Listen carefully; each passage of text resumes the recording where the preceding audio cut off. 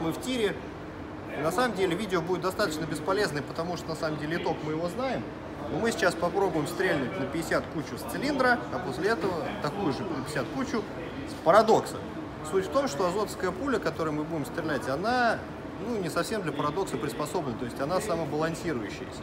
Поэтому я думаю, что разницы никакой не будет. По большому счету парадокс больше нужен для пуль, которые либо изначально, изначально плохо сбалансированы, либо, по крайней мере, не имеют вот этих вот э, поясков. Поэтому, в общем-то, результат предсказуем. Ну, сначала бахнем с цилиндра, посмотрим, что там. Теперь поехали с парадоксом.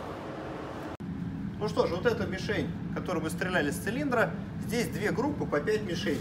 Вот эти нижние смотреть не нужно, это были пристрелочные, просто каждая мишень платная, поэтому вот так. То есть вот они, две группы по 5 мишеней. Ну, какие-то они идут в перемешку. Скажем так, в девяточку они плюс-минус там приходят.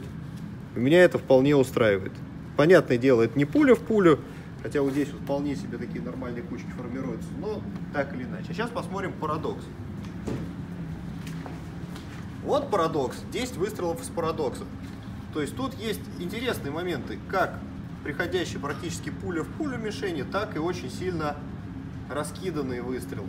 Э, при этом, если посмотреть, все пули приходят боком, что лично мне очень не нравится. Э, опять же, я говорю, что парадокс будет намного лучше работать на э, пулях, которые с, ну, с непрерывным пояском, типа пули Контарева, Лиман там, и так далее. Э, с азотской пулей они, конечно, работают хуже. То есть, в общем-то, по кучности мне даже цилиндр нравится больше. Ну, тем проще, одним сужением меньше таскать. На этом все. Всем спасибо, пока.